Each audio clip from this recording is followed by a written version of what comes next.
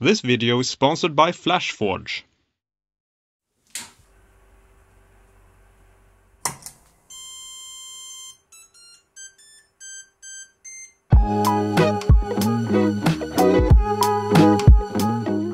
A while ago, FlashForge sent me their new Finder 3. A 3D printer in the entry to mid-range segment. As I have used the old Finder to make all my previous models, from the small ones to the slightly bigger to the biggest. I was very intrigued to see what the difference were compared to the old printer. Some things stand out immediately. The new Finder 3 has a larger build area compared to the old Finder. Although the old Finder is small, it is still possible to make a lot of cool stuff with it. The advantages of a bigger build area is of course huge.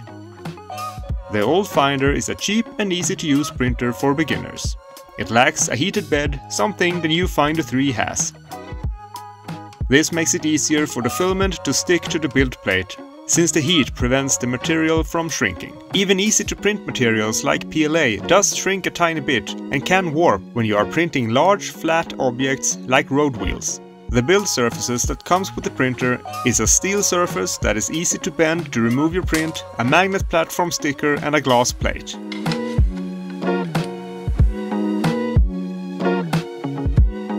The old Finder was first and foremost a PLA machine, but I have printed PETG on it as well. With the heated bed, the new Finder 3 can make use of a wide range of materials such as ABS and ASA. The boxer shape should make it easy to encapsulate the printer to maintain heat inside and also to prevent fumes from ABS from spreading in the room. The nozzle on the Finder 3 works up to 260 degrees Celsius compared to 240 degrees Celsius on the old Finder. Finder 3 has a power loss recovery function, which allows you to continue a build if something happens and the power cuts off.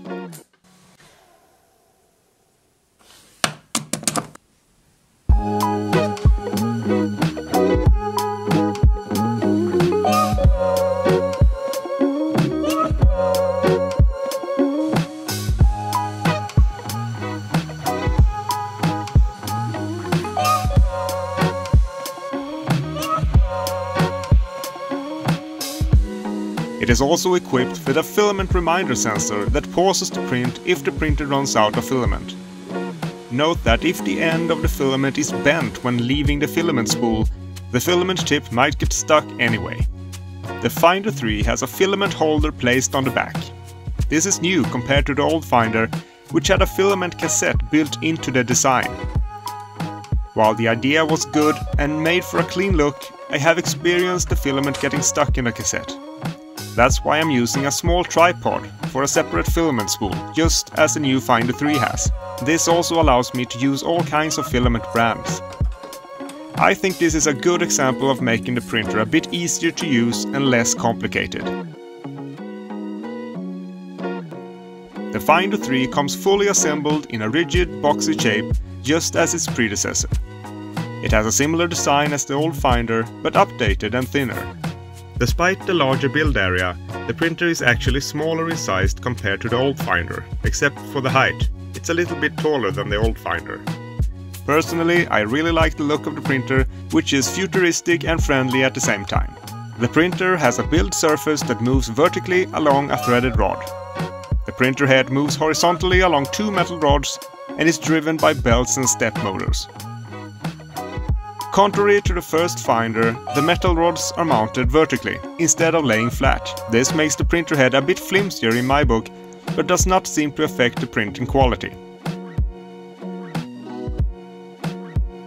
The new Finder 3 is powered on by flicking the switch on the back of the printer. This is the only way to start or turn off the printer. The old Finder also had a switch on the back, but it also had a power button on the front. The Finder 3 lacks this dedicated on button. More on this later. The old Finder has a leveling system based on a sensor that flips down when leveling the build surface. This is a nice feature, but unfortunately the level sensor is somewhat exposed and in the risk of being damaged in case of something happens with the print. You can adjust the retraction of the sensor, but as you can see on my old Finder, the tip of the level sensor has broken off during an accident. The Finder 3 does not have a leveling sensor, which is just as well since this eliminates a sensitive component. Instead, the Finder 3 is easily leveled in 3 points with two wheels similar to the old Finder, plus one digital adjuster. Start with adjusting the bed vertically and then move on to the two adjustment wheels.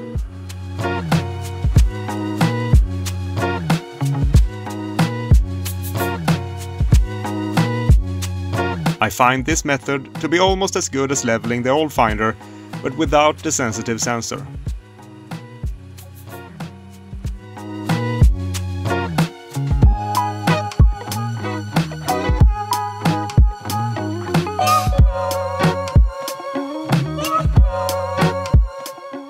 The old Finder has a glass plate with a build tack on in a plastic frame that can be removed from the printer. Due to the heated bed, the bed plate on the Finder 3 is different. It is easy to remove the surface and the filament sticks to it.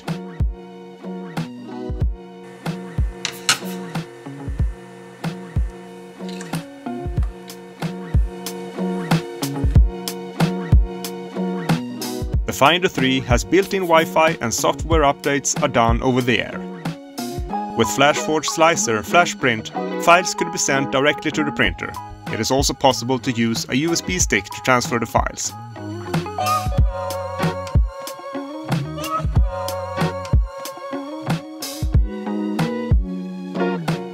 Just as for the old Finder, the Finder 3 comes with a set of tools that is very handy for working and maintaining the printer. Among the tools, a glue stick is included. This is to increase the adhesion even more. The printing quality of the Finder 3 is great out of the box any level with my experience with the old Finder. Here is a test print showing Benchy. Benchy is a commonly used model for testing the printer's resolution and ability to print overhang without support materials. As you can see, it's a pretty good little Benchy. It does struggle a bit with the tiny letters on the stern of the Benchy, but the lines and surfaces look good and this is not a resin printer. Overall, the printer has performed excellently and delivered lots of parts for future projects.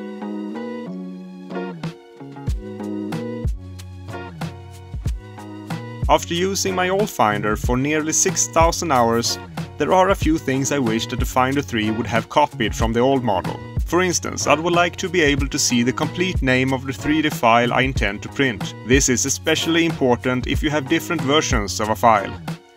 The old Finder shows the entire file name, which the new one does not. I would guess that this is easily fixed with a software update, so FlashForge, this is a tip for you. The second thing I miss on the Finder 3 is the lighting. The old Finder had pretty good light in the form of an LED ramp along the inner side of the printer, while the Finder 3 only has one light source, located in the printer head. It's doing an okay job, but does not cover the print very well, especially early in the print when the light is close to the build surface. A couple of LED strips would be good here. The third thing I would like to have on the Finder 3 is the automatic turn off function. This is a very useful function that lets the printer turn off automatically when the print is finished. This is especially useful when doing a longer print. In this way, the printer won't be left on standby during the night, for example. With that said, you should never leave your printer unattended. The lack of a dedicated on button might have something to do with the Finder 3 not having this function. So with that said, would I recommend the Finder 3? Absolutely. It's a great printer in a stable and nicely designed package that are easy to use. I have used the printer extensively and has clocked 600 hours by now. The larger build volume has been great when making larger pieces for my current tank project the Stridsvagn 105 or Centurion. Compared to the old Finder, a bit of complexity has been removed, at the same time as the heated bed and warmer nozzle makes the printer more versatile.